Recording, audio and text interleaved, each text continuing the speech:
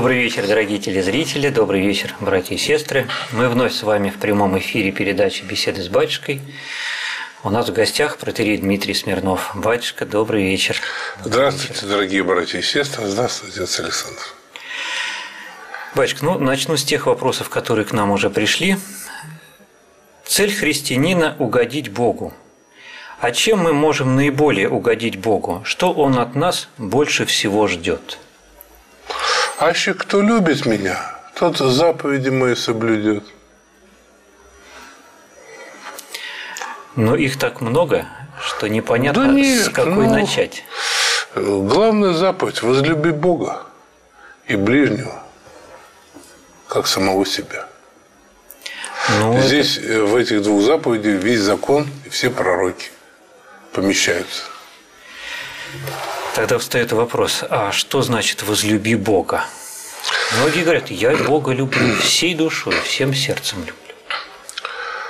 Любовь должна быть деятельна. Ну, вот, например, всем сердцем хорошо, всей душой своей, всей крепостью. Но нужно посмотреть, сколько... Вот в сутках 24 часа. Сколько часов ты уделяешь себе, сколько Богу сразу будет ясно, что это все такая декларация всего лишь устная и ничем не поддержанная. Когда есть выбор, в пользу кого выбираешь? Да, правильно. Но если все делать так, как предписывает церковь, то остается совсем мало времени действительно на свои земные дела. А многие говорят, ну мы же не в монастыре, нужно же и о семье Мы не в монастыре, это понятно. Но а, апостол говорит, едите ли, пьете ли, все делайте во славу Божию. Потому что многие из нас перед едой даже забывают воздать хвалу Богу. Не сеял, не пахал, не варил, а, из глины посуду не лепил, ложки и вилки не отливал, э, так сказать, скатерть не изготавливал, мебель тоже. Все тебе стоит. Открывай рот и ешь. Единственная работа – это вот э, ложку донести до рта. И что? Никакой благодарности, как будто так и надо. Но перед едой как раз многие не забывают помолиться. А после? И после тоже. Ну, это замечательно. Тогда, когда человек молится, он хотя бы, ну, если это неформально, он хотя бы понимает, откуда это все. Надо испытывать чувство, находиться все время в чувстве благодарности Богу. И тогда а, это значит, ты любое действие будешь делать в славу Его. Все время в смиренном, кротком расположении духа в радостном. Как научиться не возмущаться? Постоянно Нет, что-то... возмущение от того, что мы как-то игнорируем слова Господни. Что о том, что, допустим, гнев не творит правды Божией. Мы это игнорируем. Поэтому возмущаемся. Возмущение рождается прежде, чем наш ум успевает сработать вот и как-то включить есть память. дана заповедь такая, вынь бревно из собственного глаза. Вот, если мы ежедневно упражняемся в этой такой, э, как говорится, наблюдением за тем лесом, который у нас растет в глазу. Мы это же делаем во славу Божию. Богу уже это приятно, что Он нас просит, вынь бревно, и вдруг мы вынимаем. И вот на это у нас уходит время. Там, мы этому посвящаем это полдня. Но уже прогресс. Тут монастырь-то даже ни при чем. В монастыре тоже можно, э, так сказать, как на лесопилке. Пачка, а вот что значит вынуть бревно из своего глаза? Ну вот я вижу в себе грех. А что значит его вынуть, это бревно? Перестать его совершать? Нет. Возненавидеть Там его? сказано в отношении нашего ближнего. Потому что мы, к сожалению, замечаем грехи в нашем ближнем. Да, вот он мне неприятен там. Потому-то и потому-то. Должен Мы быть- его осуждаем, его поступки, слова, действия. Господь нам этого не заповедовал быть э, судьей. Как сказано в Писании. Кто ты, осуждающий чужого раба? Вот я заметил сучок в его глазе, его недостаток. Да. Каким образом я должен сейчас в этот момент вынуть бревно из своего? Э, Ну, во-первых, надо всегда помнить э, такой закон. Мы можем увидеть сучок, только такого сорта древесины, бревно которого у нас торчит в своем глазу. Потому что если мы сами не ведаем этого греха, то мы его не увидим, мы его просто не различим. То, что мы видим, это есть в нас. То есть в этот момент, когда мне не нравится мой ближний, я Да, должен, надо тут же обратиться с покаянием к Богу. Господи, прости меня грешно. Меня грешно. Я такой-то и такой-то. Помножаем на 100, и вот ты такой и есть. Спасибо, батюшка. У нас есть первый звонок. Добрый Здравствуйте. вечер.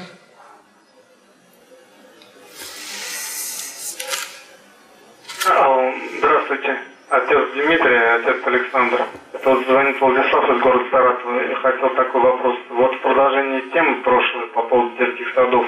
Я хотел узнать у вас, э, отец Дмитрий, ваше мнение вот о начальном школьном образовании современном. И как бы в дополнение, вот что вы думаете о раздельном форме обучения мальчиков и девочек?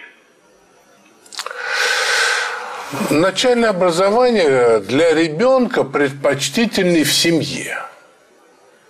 Вот э, начальная школа не очень тяжела. Любой человек с изрядным средним образованием, если возьмет программы и э, сумеет э, это освоить, то он вполне может э, со своим дитятей это пройти. Э, Только даже немножко быстрее, чем обычная школа. Поэтому, если еще и дополнить иностранным языком, э, то было бы вообще замечательно. Э, И тогда уже к четвертому классу ребеночек душевно окрепнет, уже можно поступать и в среднюю школу, если есть такая возможность у семьи. Вот. И вот я считаю, что должно быть такое предпочтение, что э, дитя лучше отдавать в школу с 9 лет. Я против э, раннего обучения. Вот такое именно в школе, потому что там э, ну, стрессовая ситуация. Э, э, Шумно, дети очень плохо друг к другу относятся. И, в общем, много всяких инфекций можно набраться. Предпочтительней. Но, к сожалению, вот родители идут самым простым путем, а вот если мы хотим для дитя свою э, пользу, лучше, если есть возможность, делать так. Теперь второе. По поводу мальчиков и девочек. Э, Я считаю, что так.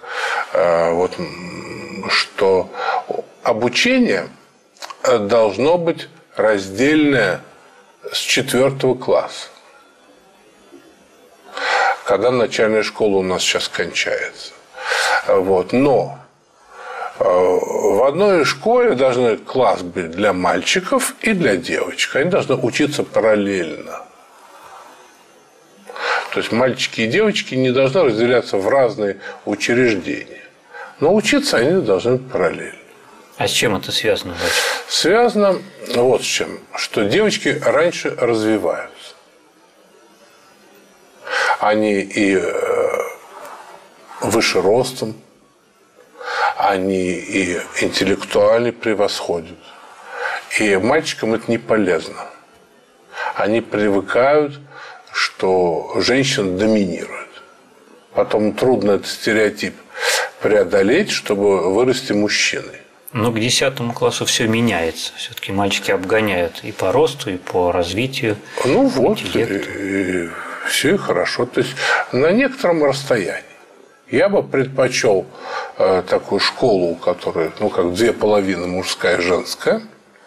А встречаются на переменах, в рекреации, в совместных э, всяких э, таких организованных вещах, как то школьный театр вот, или спортивные соревнования. Женская команда, мужская. Мальчики болеют за девочек, девочки за мальчиков.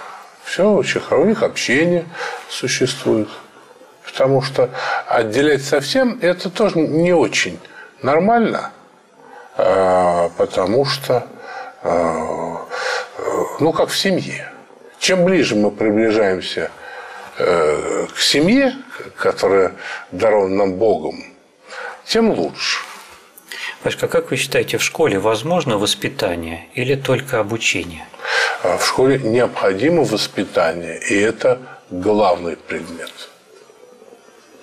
Сначала поведение, хорошие манеры, а уже потом все остальное. Это гораздо важнее. Ну, если родители поддержат такой принцип. Ну, спрашивают же, каково мое мнение. Я же никому не навязываю.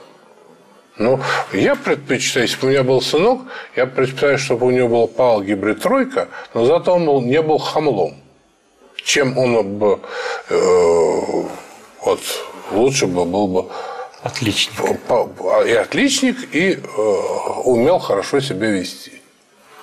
И не только формально, а всегда. У нас есть вопрос. Добрый вечер. Здравствуйте. Здравствуйте. Меня зовут Светлана, я из города Белгорода. А, батюшка, у меня к вам такой вопрос. Ну, моя бабушка, она жила в деревне всю жизнь и то всегда верила в Бога.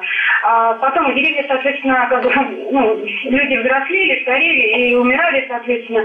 И деревня, ну, как бы опустела. И осталось, ну, как бы, бабушки старенькие, и вот много э, мужчин, там, которые пьют, там, ну, женщин. Э, и приехал один родственник, знакомый, э, ну, родственник, и с ними вместе э, наш знакомый приехал, э, и он приходил к бабушке, но он был баптистом. Но так как вот он был баптистом и э, разговаривал о Боге, всегда бабушке и бабушка, ну, как бы тоже раскрылась к нему и вместе с ним общалась э, о Боге. И, соответственно, стала тоже баптисткой. Вот. Сейчас она умерла, и, ну, как бы, я вот не знаю, как вот можно ее поминать, и вообще, кто такие баптисты, как вот нам к этой, относиться вот к этой вот ситуации? Ну, как к ней относиться? Есть такая ситуация – вот вы мне рассказали, я тоже к этому отношусь, что вот есть э, такая ситуация.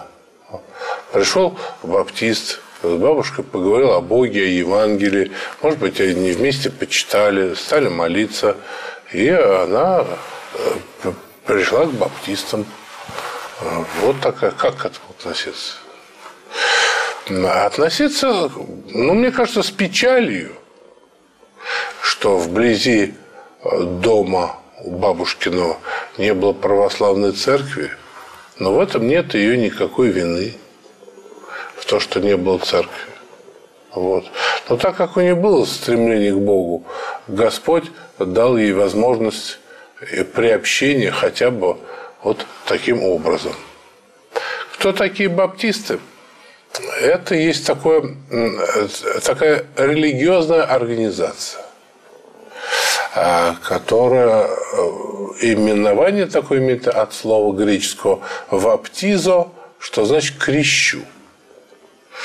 Они э, считают, что крещение нужно принимать человеку во взрослом состоянии. Вот, так сказать, это у них такое правило.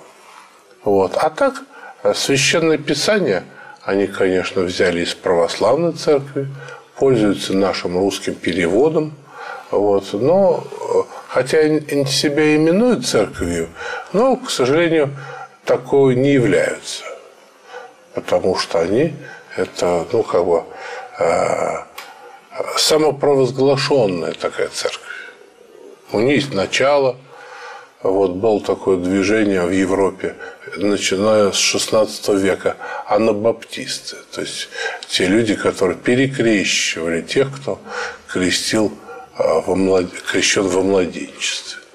Вот. У них нет своего священства, а у них выборные такие пресвитеры, старшины которые это все совершают. У них есть определенная традиция. Они очень любят Евангелие, очень хорошо знают Новый Завет.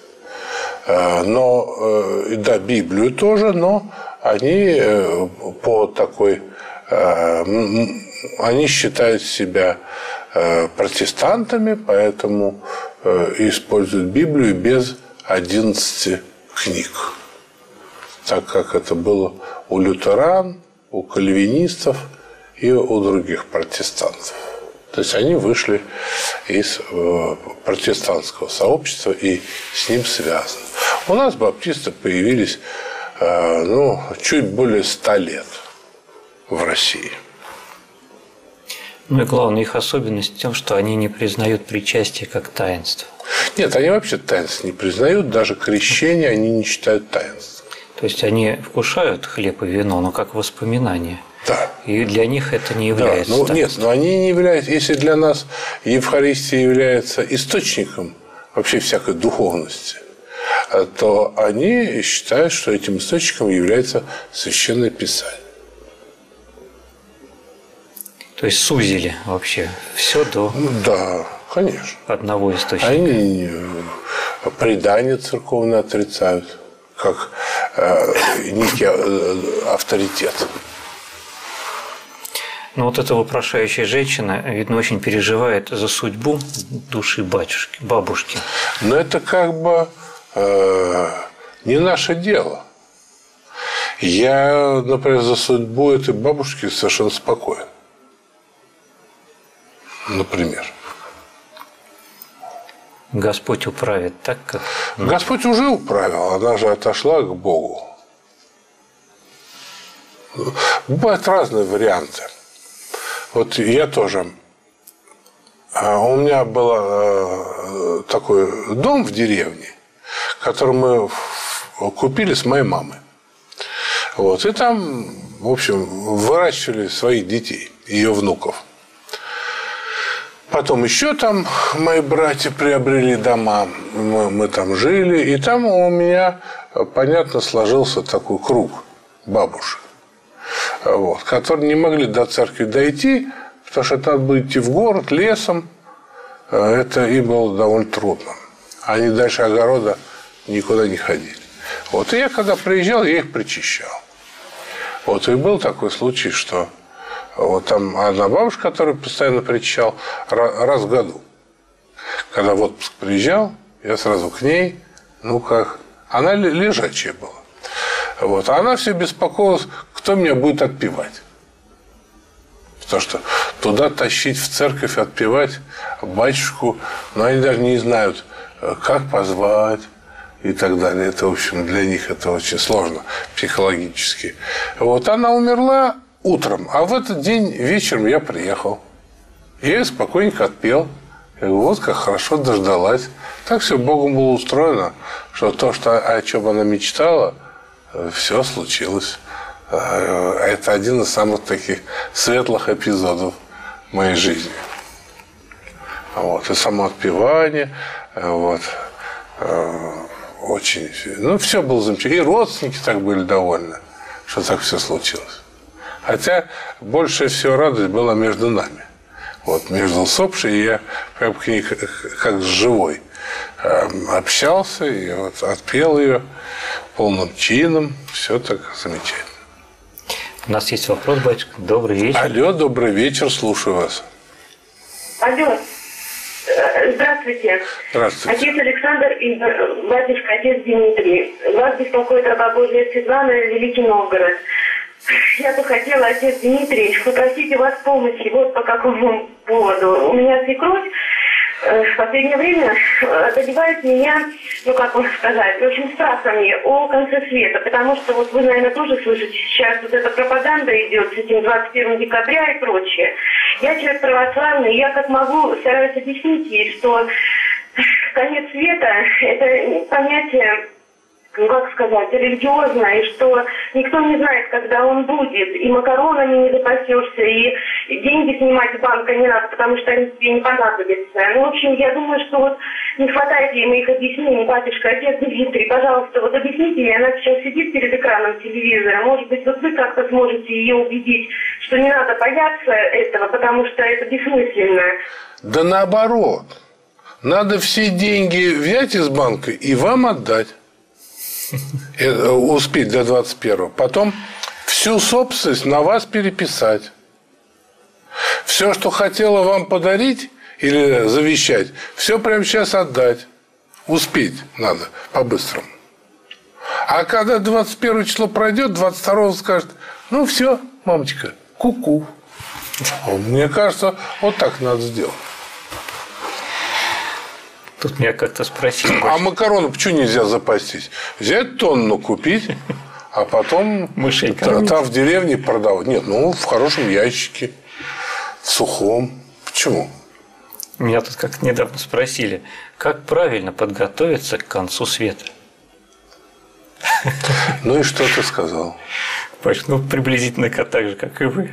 Потому что мне ничего серьезного. Я всем рассказываю, что когда назначали прошлый конец света, я сразу пари выиграл у одного нашего прихожанина. Он, правда, что-то перестал ко мне на исповедь ходить. Смотрит так из-под лобья. Может, ему жалко. Обманул. Да, но честно все проигрыш свой принес. Поэтому э, надо как можно больше заключить пари. А потом на эти средства жить весь оставшийся год. До следующего конца света. Ну да, а его обязательно же передвинут. Это очень же интересно. Ко мне тоже звонили с НТВ, хотели, чтобы я в такой передаче поучаствовал, но я даже отказался. То, что я говорю, ну это ваш, ваш бизнес. Зачем я буду своим брендом поддерживать ваш? Э, тема такая. Э, надо же знать священное писание и с чем связан конец. Конечно, э, весь мир и земля сама, ее природа, сами люди по своему нравственному состоянию, государство, все идет туда, в ту сторону, к концу света. Ну, что это будет 21 нет. Мы еще не готовы. Добрый вечер, мы вас слушаем. Батюшка, можно э, задать вам такой вопрос? Вот я по роду деятельности своей являюсь врачом. И мне э, приходилось вот э, несколько раз э, предупреждать пациентов просто о неблагоприятном о последствии их беременности. И они сами э, принимали решение идти делать аборт. Я ни в коем случае не заставляла, я просто их говорила им о возможностях. Вот, ну, я не могла их не предупредить.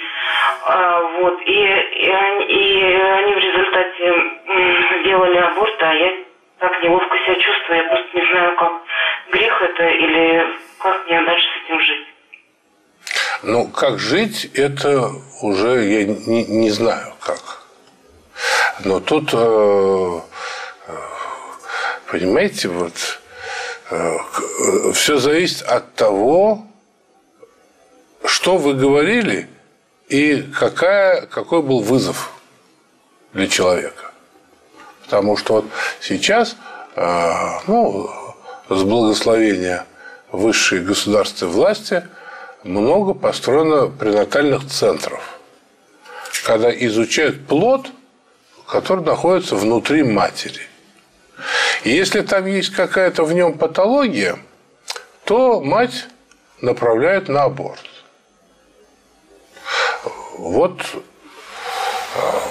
в этом отношении мое мнение частное, э, что это натуральный фашизм. Потому что такое отношение к человеку, что вот если он э, как ну не вполне, не сто процентов здоров, то его надо в газовую камеру. И это именно фашисты тех людей, э, которых они считали неполноценными, ну, в частности, психически больные, или цыгане, или евреи, э, или славяне, э, их надо э, население либо полностью уничтожить, там цыган и евреев полностью. Вот. Но хотя они полностью их не уничтожали, потому что кое-кого оставляли и даже с ними сотрудничали. Вот славян тоже хотели процентов 10 только оставить, ну, как обслуживающий такой персонал. А, и, и тут сейчас это делается через врачей. Когда ребеночек родится, и у него какая-то патология, делают операции ему, вот, и всякие, э, чтобы отправить куда-то в Германию, собирают миллионы, его лечат. Вот, а если ребеночек еще не успел родиться, его по, по любому подозрению отправляют, э, э, так сказать, на смерть. Поэтому вот э, вас мучает совесть. Значит, у вас жива душа. Успокоить вашу совесть я не смогу, потому что это буквально лежит на вашей совести. Потому что э, человечеству нужны не только здоровые люди, причем физически. Человечеству нужны и больные люди. Человечеству нужны и сумасшедший Ван Гог, и глухой Бетховен нужны, понимаете? И всю жизнь инвалидом пробывший Сергей Сергеевич Аверинцев, Царство Небесное, великий филолог и философ, и, ну, вообще, один из самых умнейших и благороднейших людей планеты, и скромнейший. Так что было такое государство Спарта, если рождался такой хиленький младенец, его бросали со скалы – где она, эта Спарта? Она очень многих гениев уничтожила. В том числе и полководцев. Потому что если бы э, Александр Васильевич Суворов родился бы в Спарте, его бы бросили со скалы. Он был такой младенчик, очень даже неубедительный. Не крепыш. Вот. А очень был такой довольно чахленький. Но как полководец был гениальный. И ему за 70 лет он все служил и подвиги совершал, и на хромой ноге вообще чудеса творил, храбрости, доблести, выносливости и так далее.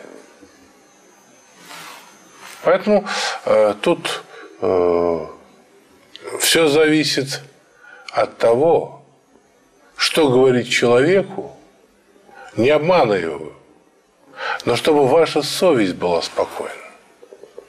Вот. Что вы спокойно и честно. Все, это зависит от того, как представить, что за человек. Понимаете? Это важно. Часто человеку преподают информацию без какой-то надежды на выход из ситуации. А ее надо дать надежду. Тогда, может быть, и не пойдет на аборт. А то говорят, все у вас плохо.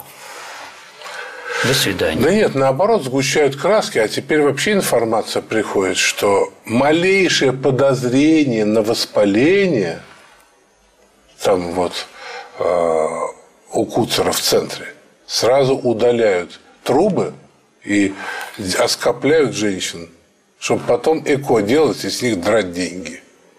Но это вообще куда годится. Потому что у нас еще э, ну, идет это из России. То, что врачи, вот, особенно земские, это были благородные, бескорыстные люди. Вот и так традиция это перешла и как бы, в советский период. Вот, а, а сейчас уже все медицинская услуга. Кто кого скорее обманет. У нас есть вопрос, батюшка. Добрый вечер. Добрый. Добрый вечер. Я хотел бы задать вопрос отцу Дмитрию. у меня такая проблема большая, и я никак с ней не могу ну, от нее избавиться. Во мне, ну, я понимаю, много грехов, гордыни и всего прочего. В молодости я жил, что я всегда прав, я все умею, я все могу и так дальше. Последние 15 лет я начал с этим бороться, но получается вот как раз продолжение той темы бревно в глазу. Я его не могу вытащить, потому что вот э, рядом со мной кто-то что-то, и я тут же начинаю, вот он не так, вот он это. Даже просто, вот он мне бы это сказал, а вот я бы ему так красиво ответил, а вот он бы так. И вот я тут же себя останавливаю, но буквально через короткое время опять у меня это начинает из меня ну, выходить. Вот и получается круглые сутки, даже вечером сплю, проснусь, и вот что-то начинает накручиваться там. Я себя останавливаю вот этой короткой молитвой, там, Господи Иисусе Христе, прости меня грешного. Отходит на минуту, на две, и опять, и опять. И вот как будто я как будто одержимый какой-то. Ну, не какой-то, а натурально. Ну так и что? И Христос пришел на землю, чтобы нас от этой одержимости избавить. Поэтому вы правильно делаете, когда к Богу обращаетесь с молитвой. И отходит дьявол, а через две минуты опять, и опять надо молиться. И на чьей стороне будет ваше сердце? На стороне Христа или дьявола?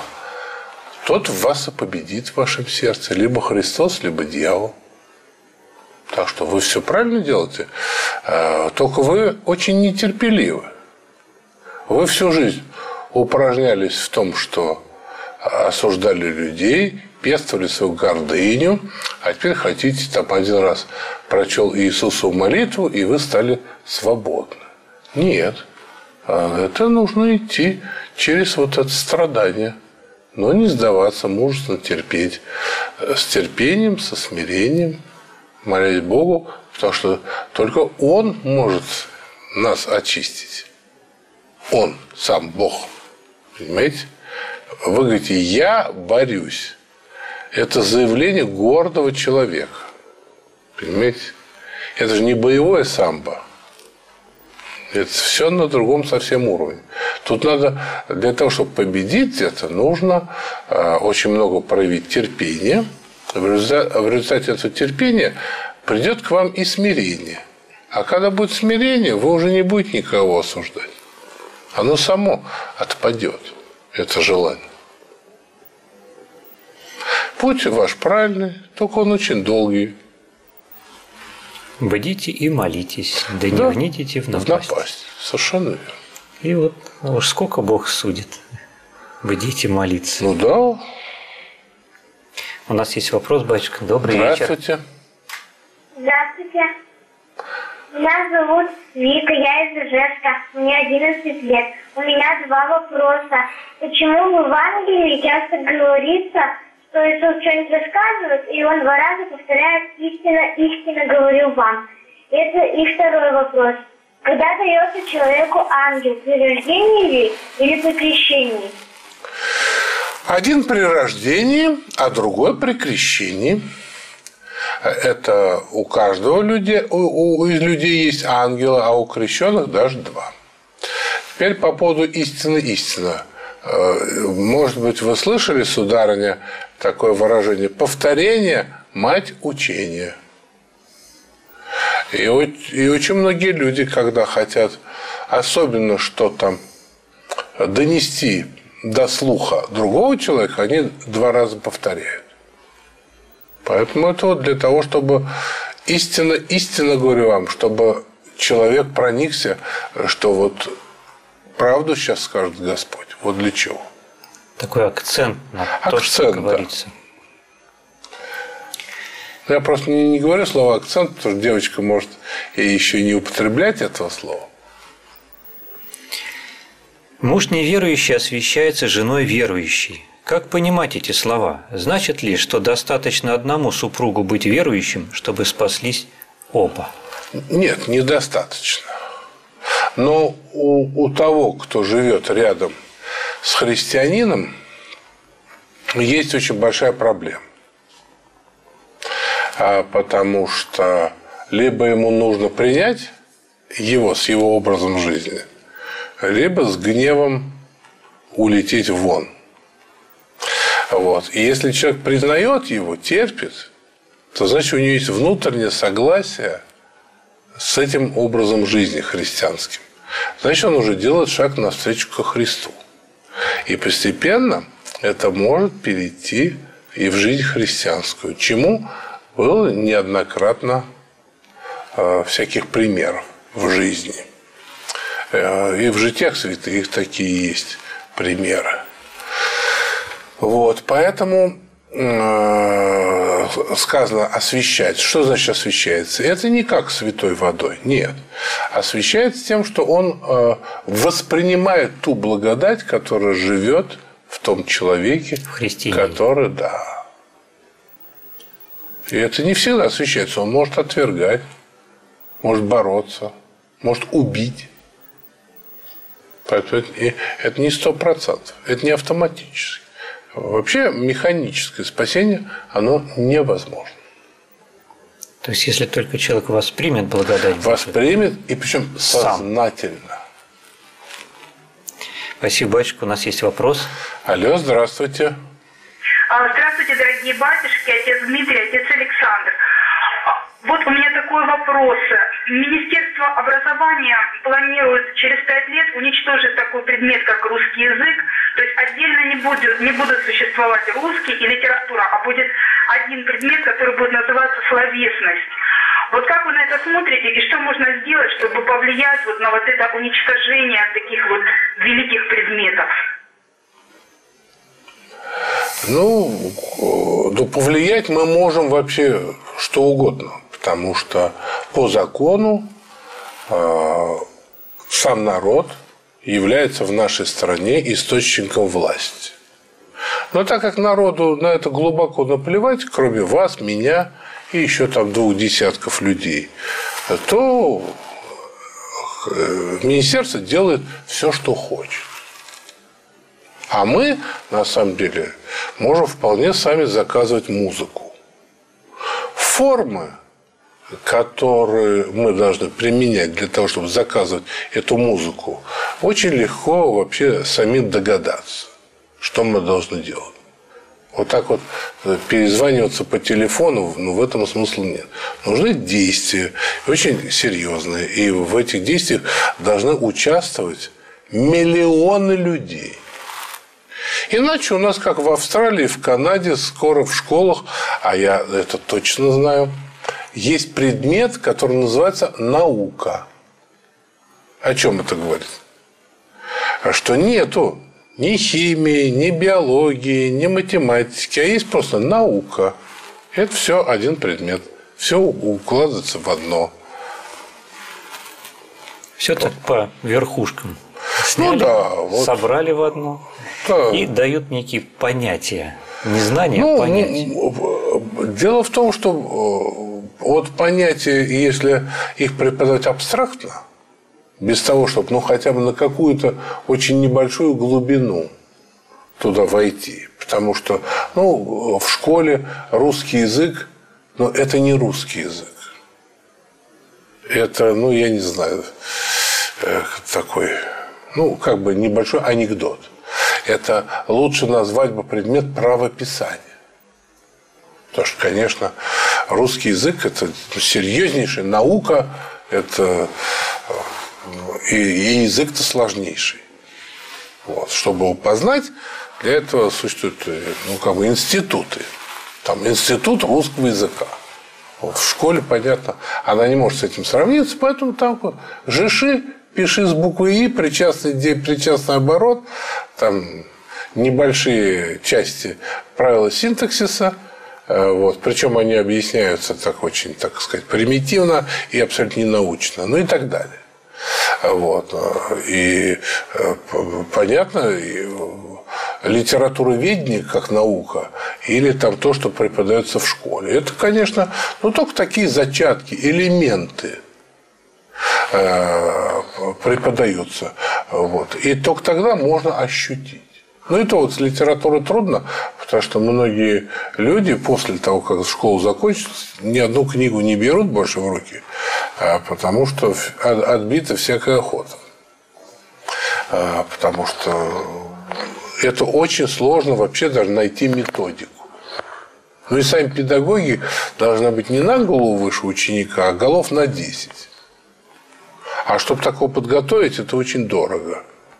Да и где найти такого человека, который будет за 3 рубля э, там, с детьми, которые вообще не хотят учиться, э, что-то им такое внедрять. Все очень сложно. Вот. Но тем не менее, вот если родители захотят, то они могут сделать все, что угодно.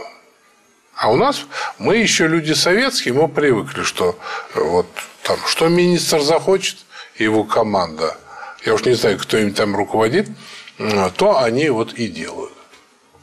Но мы вправе, родители, и воздействовать и на директора. Все родители собрались, говорят, мы эти программы не приемлем. Вот. Или там по поводу ЕГЭ. Вот пришли ЕГЭ, а родители собрались, и вот это ЕГЭ все раз и в урну. И что директор скажет?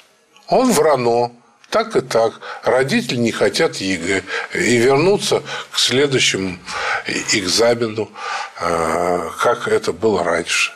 Ничего не сделают.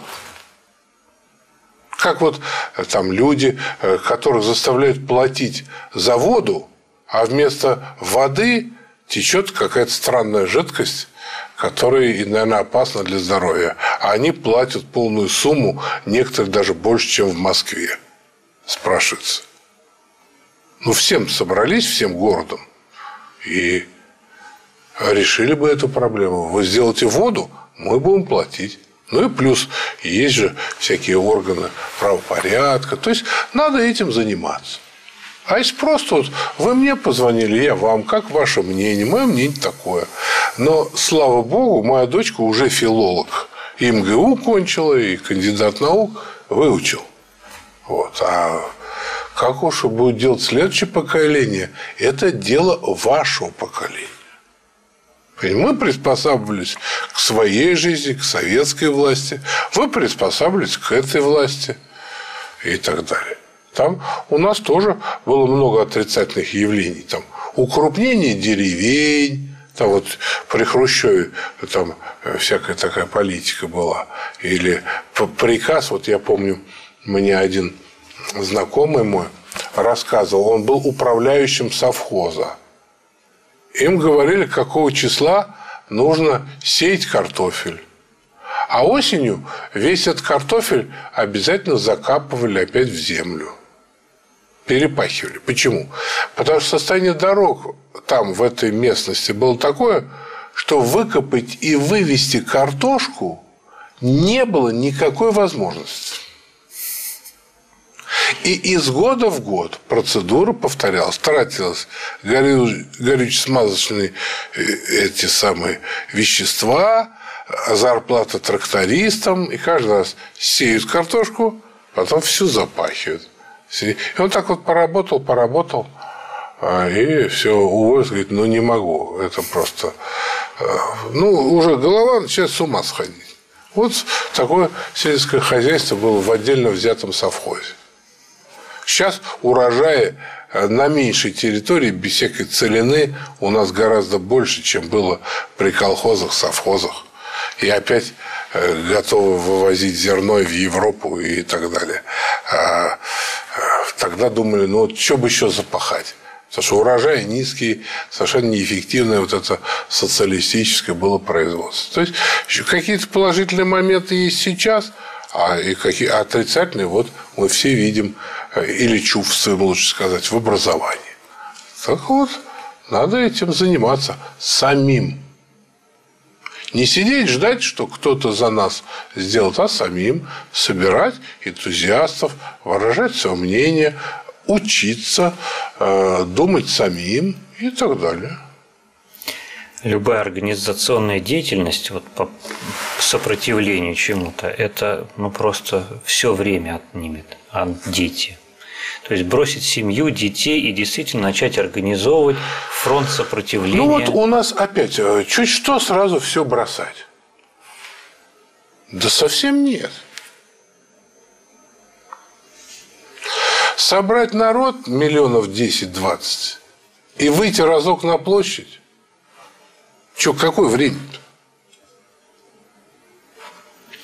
Написать куда-то 20-30 писем или послать полтора миллиона телеграмм? Да знаю, сколько тут надо времени. Потом, это же не надо обязательно вот Москву теребить. Вот живем мы в конкретном городе. У нас там конкретные учителя. Других не приедут. Ну, с ними-то можно как бы разобраться с педагогическим коллективом своего отдельно взятого города. А уж там журналисты приедут, подхватят, расскажут, э, интервью, а в одном месте начнется и в другой пойдет. То есть самим. А у нас вот, ну, я тоже понимаю, что мы советские люди, и долго такими еще будем. Вот. Но этим пользуются. Поэтому мы, не знаю. Я считаю, что мы хозяева в своей стране. Вот я, например, ощущаю себя хозяином в своей стране. И в отдельно взятом приходе у меня вот совершенно небольшая задача. Все решают так, как считаем нужным. Договариваемся и с начальством там, э, и с опекой по сиротам, и с э, руководителями народного образования в нашем округе. Договариваемся. Мы идем на какие-то уступки, они нам помогают. Очень много добиваемся. Везде нормальные люди. Но нужно этим заниматься. Спасибо, батюшка. У нас есть звонок. Алло, здравствуйте. Слушаем вас. Алло, добрый вечер. Простите, пожалуйста, раба Божия Марина из города Кузова, Республика Тува. Мы очень малоцерковленные люди. Я пять лет назад крестилась. Когда я крестила свою дочку, у меня младшая дочка 8 лет, она в втором классе учится, она инвалид. У нее речь очень большая проблема была. Она 7 лет начала говорить после как съездили к святой уважаемой Матронушке, к Машам, и преподобному Радонежскому, и к маму, ну, слава Богу, что вот так вот. Я своего старшего сына, которому 15 лет, привела шантажом к решению, когда мы как же мать будет крещенная, а мы без отца, мои дети, и дочка будет крещенная, а сын будет не крещенным. Так думаю, решила сама, ни с кем не посоветовавшись.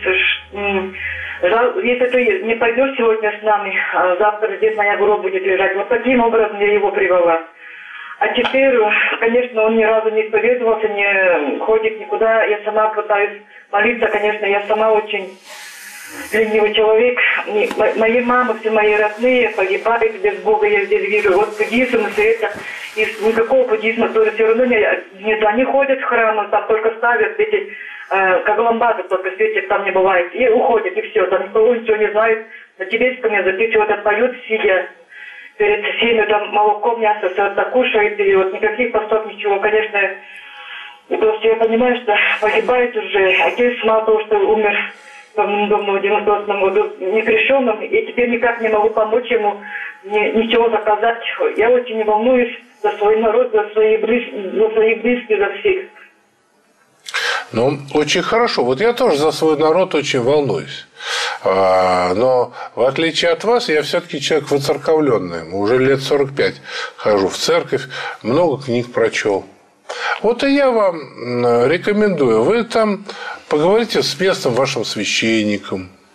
Вот. Может быть, он вам какие-то даст книги. А начните читать, вникать. Э, то, что сами усвоите, будете рассказывать э, своим э, братьям и сестрам, соседям. И вот так потихонечку. Конечно, так под пистолетом в церковь вводить, ну, толку в этом мало. Э, так сказать, гробом угрожать. Э, вот видите, это толку не дает. Ну, крестили, а все равно он парень-то еще дикий совсем. Вот. Поэтому тут надо вам как бы к церкви прибиться и стараться и изучать Вот. Потому что ну, сейчас книг нету. Э, если э, там негде взять, или батюшка там не ученый, ну, напишите нам письмо, мы вам э, что-нибудь вышлем. С чего начать? Если вы по-русски умеете читать, вот, то я думаю, сумеете освоить. Конечно, это в вашем возрасте тоже нелегко, но другого как бы пути нет. Ко Христу можно только вести, но нельзя толкать. А вести за собой. Звать, да, да. Ну вот я и говорю, что нужно самой вот освоить, а люди потянутся, потому что если человек ну, будет отвечать ну, не по своему какому-то усмотрению, какие-то странные суеверия, а будет от Евангелия, то есть каждая душа, будь он тувинец э, или там, ну я не знаю, удмурт, какая разница? Душа все равно христианская у всех. И она откликнется обязательно. Андрей из Донецка спрашивает, могут ли Богом попускаться скорби и искушения за нераскаянные человеком на исповедь грехи, за утаянные грехи? У Бога очень обширный арсенал. Поэтому сам этот вопрос, он содержит в себе ответ. Человек что-то утаил, это вот прям видно, а ему что-то там приключилось. И он думает, за это или не за это. Спокойно отвечаю, за это. Так что не ищи другого. Да, не задумывайся. Вот. И нечего тут, э, как говорится, время тратить на вопросы. А потому что, ну, вот совесть тебе говорит. Откуда этот вопрос-то? Это вопрос от совести. А совесть – это голос Божий в нас. Галина из Сергиева Посада. Преподобный Иосиф Волоцкий в борьбе с ересью за чистоту православия убеждал великого князя Иоанна III в необходимости казней еретиков. Не противоречили ли эти казни заповеди Господней «не убий»? Никак не противоречили. Никак. А просто э, и у нас сейчас, хотя народ на 85% крещеный, а то, что отменили смертную казнь, это насильно. Если сделать опрос общественного мнения, 80% строго за смертную казнь. Э, просто надо понимать, что Иосиф Володский, он жил не в 21 веке, а жил в 16. Пораньше. Да. И тогда такая мера, как смертная казнь, это была самая обычная мера ограждения.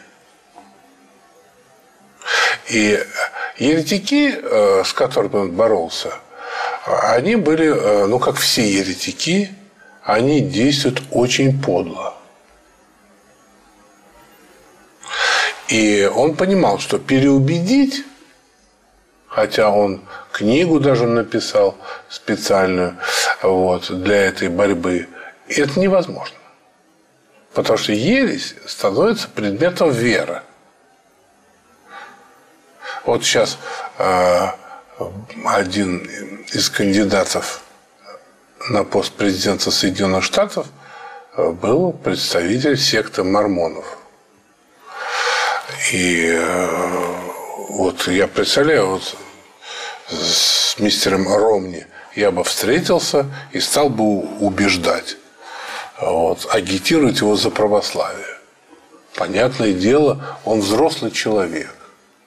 Э, по американским понятиям очень успешный. Вот. И что я могу предложить?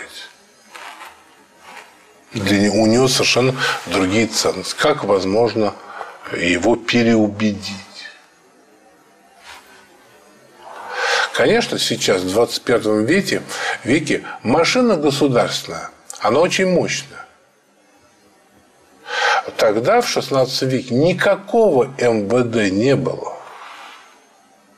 Никаких прослушивающих устройств. Никаких адвокатов. Было все очень просто. Решались вопросы. Вот. Но вред от этой ереси был такой, что могла, она угрожала существованию государства.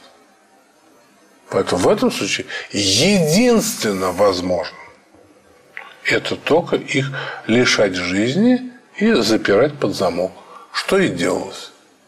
Лишили жизни совсем немногих людей, но многие устрашились, хотя бы не распространяли. Да, ересь – это такой соблазн. Который... Да, но они бы разрушили ос... основу народной жизни, э, которая была жизнь церковная. И вот эти основы были бы разрушены. Ну и все, уже никакого 21 для нас бы века не было.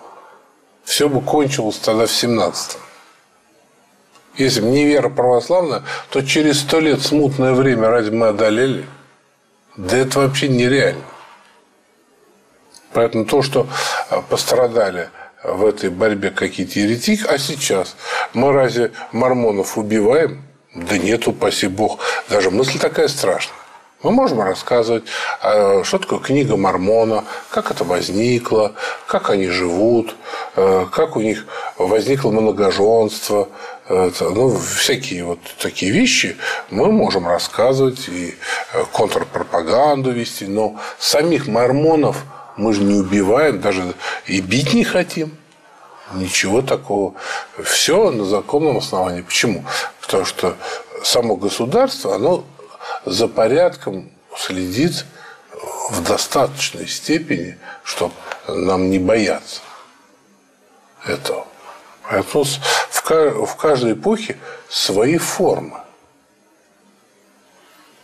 существования. Поэтому это вполне э, соответствующая времени реакция на ересь. И поэтому нельзя. Вот нам сейчас, э, вот представьте себе, там вот сейчас в Министерстве обороны э, оказались какие-то злоупотребления. И вдруг выходит Владимир Владимирович Путин, берет топор и на лобном месте в Кремле рубит головы. Ну, как бы мировое сообщество на это посмотрело.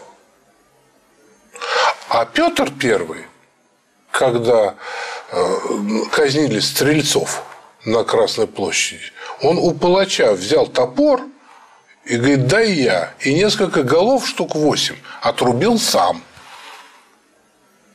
И тогда, в конце 17 века, никому это не показалось странным. Ну, Петр царь, вот отрубил несколько голов. Да, все по своей эпохе. Да, все по своей эпохе. Нам это вообще кажется дико. Даже если такой фильм снять, это уже будет фильм ужасов. Понимаете, вот такое на экране показать. Самый Спасибо. настоящий ужастик. Спасибо, батюшка, за ваши ответы. Нам пора прощаться. Всем доброго, до свидания. Избави нас, Господи, от всяких ужастиков. Спасибо вам за ваши вопросы. Пишите на наш сайт www.благодрево.ру раздел «Вопрос к священнику» и на блог-пост отца Дмитрия дмитриесмирнов.ру. Всего доброго, до свидания. thank you